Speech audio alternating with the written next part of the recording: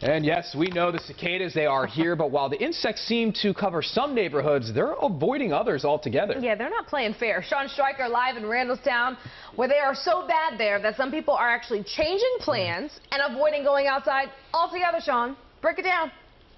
Yeah, you know what? I can't blame you. When we first got here, it was raining. That really seems to keep the cicadas at bay. The rain has since stopped. The cicadas have come out to play. You can see this tree covered in their exoskeleton. The grass seems to be moving because there are so many cicadas out here this morning. You can almost understand why people are choosing to stay inside. Michael Izzard just wants to have a barbecue, but there's one little pesky problem standing in the way. I don't think right now I kind of feel comfortable having people over. He says they started noticing the cicadas a few weeks ago. They now cover his shed and make yard work unbearable. Just an uncomfortable, icky feeling. Even his dog Midnight is not a fan. And they start making this buzzing sound and everything.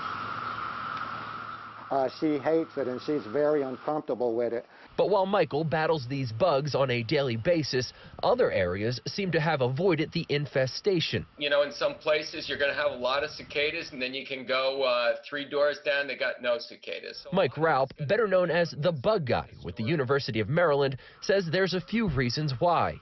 It will depend on number one, where those cicadas decided to lay those eggs, which tree 17 years ago, and number two, if there's been changes in the land use patterns, for example, regrading, construction, or taking down those trees, you're simply not going to have periodical cicadas. And that's why newer developments seem to be shielded from the cicadas. Unfortunately for Michael, his house was built nearly 60 years ago. He's just hoping he'll be able to have that barbecue soon. We're hoping to maybe have people over for the 4th of July instead.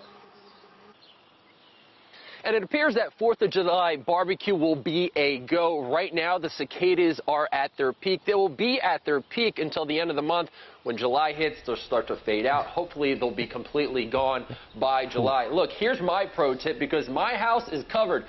I keep oh this oh leaf blower ready, and I just kind of leaf blow to clear my path. The next day, they're right back. So, you know, I have to do it on a, a daily basis. Sean's like a, a true superhero. Oh, he is. Just put up the Sean Stryker light. You can go to their Sean house and take the Stryker will cicadas. come and blow the exoskeletons He'll from take your care yard. of it. You are He's the hero. you. We all That's need it. Sean.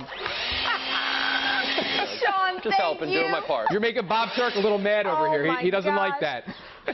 Good stuff, Sean. Thank you, Sean.